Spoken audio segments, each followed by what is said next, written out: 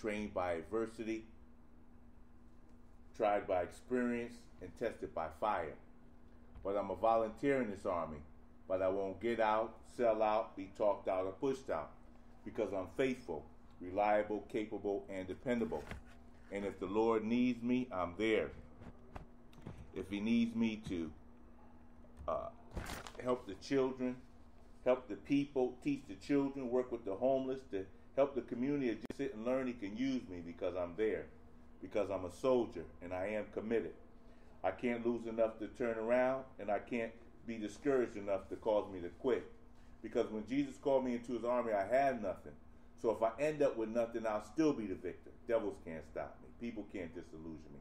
Weather can't stop me. Sickness can't wear me. Battles can't defeat me. And money definitely can't buy me. Because I'm a soldier. And I won't give up. I won't let up. And I won't be turned around. Because here's where I stand. The Bible says in Ephesians chapter 6, verse 14, that after you have done all you can to stand, stand therefore. So, my question to each and every one of you tonight at the sound of my voice is where will you be standing? Hallelujah. Father God, in the mighty and matchless name of Jesus, I just want to say first and foremost, Father God, for allowing me uh, one more time to come before your people, Father God, your sheep, to give me, uh, to be able to give them what you've already given me, to be able to preach unto them what you've already preached to me, and to teach them what you've already taught me. And I thank you, Father God, for in mighty name of Jesus, for continuing to forgive me of all of my sins, past, present, and future, my sins of omission as well as my sins of commission. Because, Father God, I know I have fallen short of your glory, and I know I've missed your mark on several occasions. Also, want to say thank you, Father God, in the mighty name of Jesus, for continuing to forgive me of all the offenses that I have committed against others, God, intentionally and unintentionally. So as I pray these prayers before you and these cloud of witnesses, that they will not fall upon deaf ears. And it is in Jesus' mighty, holy, and precious name that I pray and give thanks.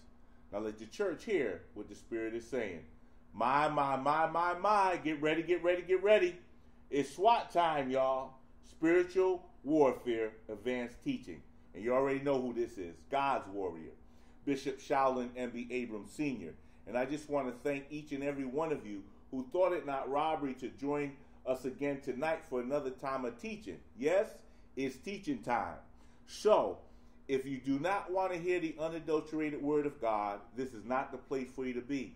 Because not only do I preach, but I teach the whole counsel of God, from Genesis to Revelation and everything in between. Because as I said time and time again, my words mean absolutely nothing compared to the Word of God. And if at any time you miss anything that I have said, or that I say, or any of the scriptures that I give, this broadcast is being recorded. So you can listen to it in its entirety on our website, and I will give you that information after the lesson. So let's get right into it as we're in another uh, lesson, lesson number six, as we talk about legal and ramifications of our calling. And as always, I start in scripture.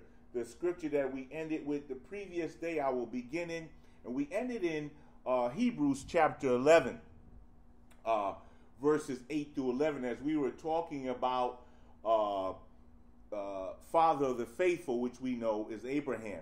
So Hebrews 11, 8 to 11 reminds us that by faith, Abraham obeyed uh, when he was called to go out to the place which he would receive an inheritance. And he went out not knowing where he was going. By faith, he dwelt in the land of promises in a foreign country, dwelling in tents with Isaac and Jacob, the heirs with him of the same promise.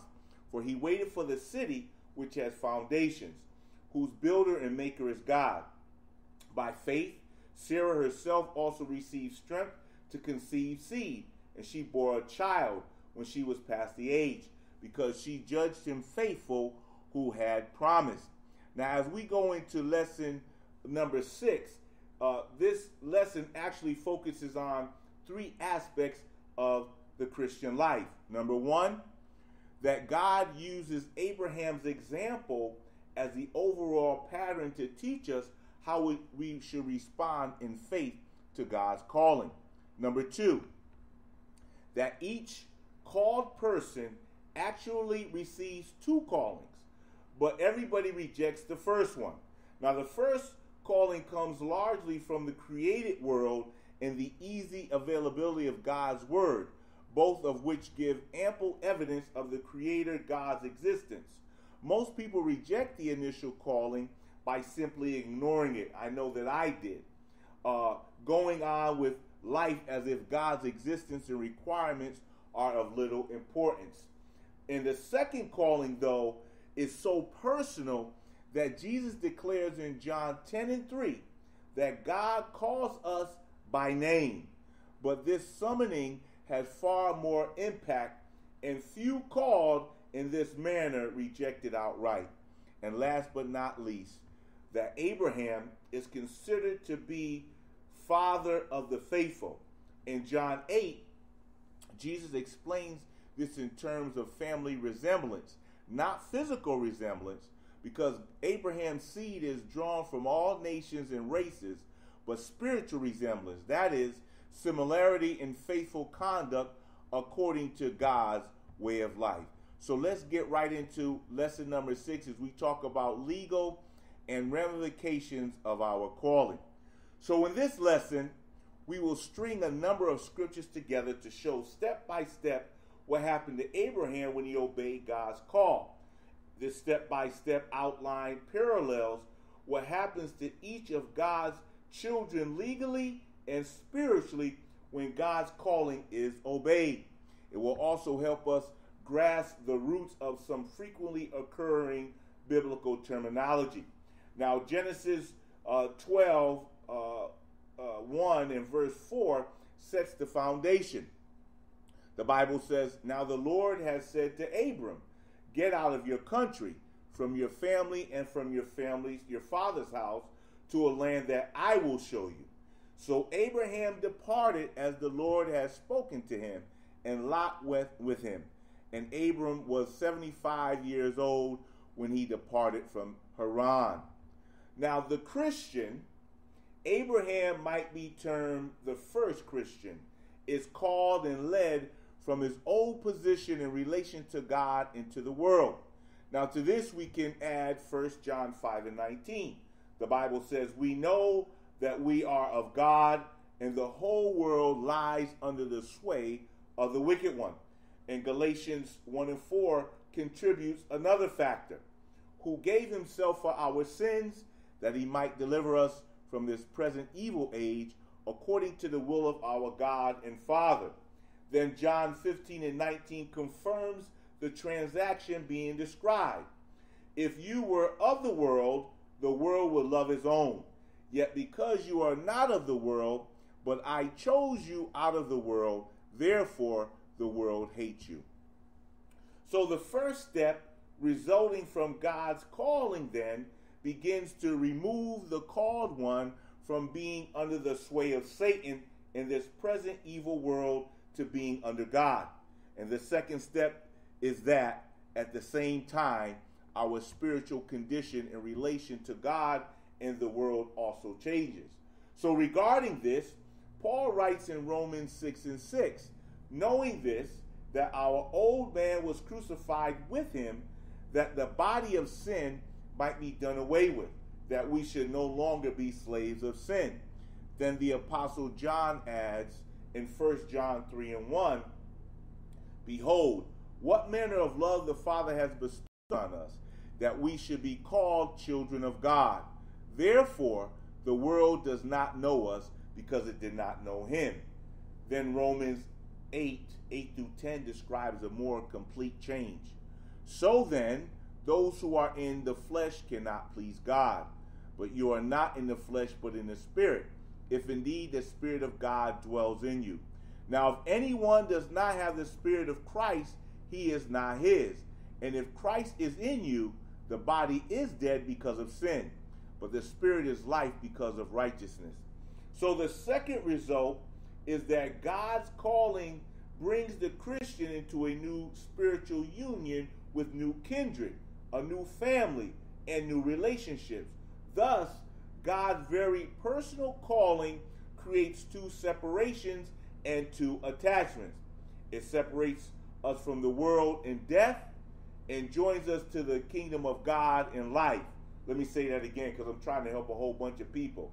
So, God's very personal calling creates two separations and two attachments. It separates us from the world in death and joins us to the kingdom of God in life. So, understanding these two separations is, is important toward growth in the grace and the knowledge of Jesus Christ, according to 2 Peter 3 and 18. Because the world concentrates heavily on justification while treating sanctification very superficially.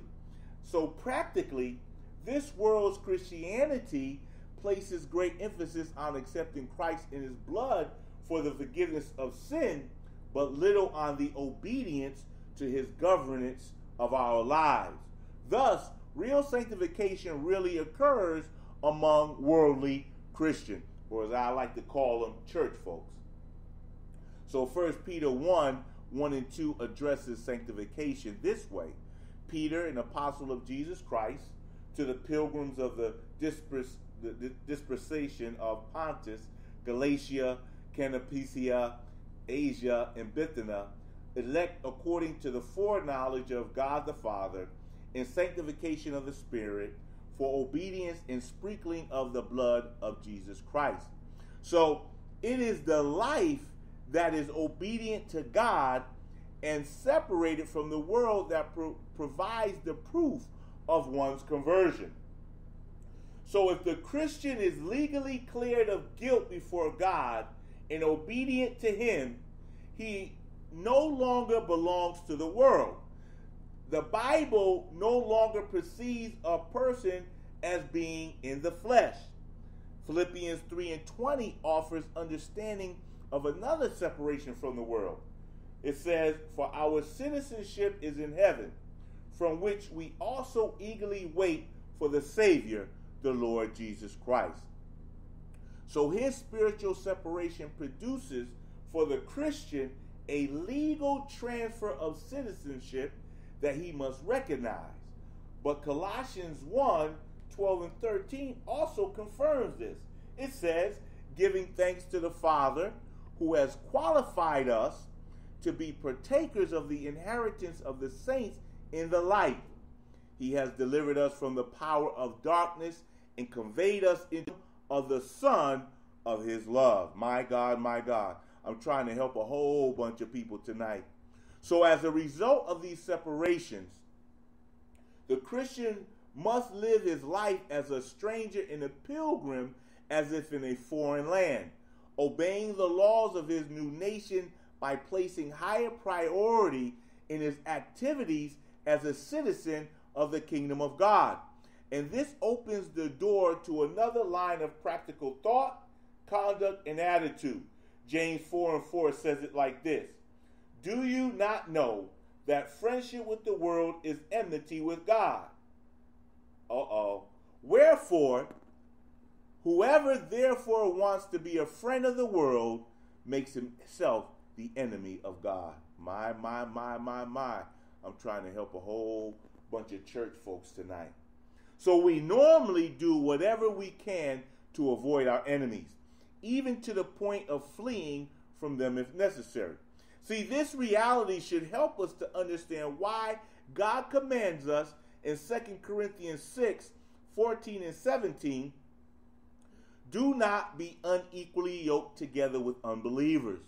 For what fellowship has righteousness with lawlessness? And what communion has light with darkness? Therefore, come out from among them and be separate, says the Lord. Do not touch what is unclean, and I will receive you. So it is by means of conduct motivated by the Holy Spirit that we are to come out from among unbelievers and be separate. Listen, that means other church folks too. So we can't, we must not straddle the fence because we cannot serve two masters. Once we are called, we must serve God or we will receive God's grace in vain. according to 2 Corinthians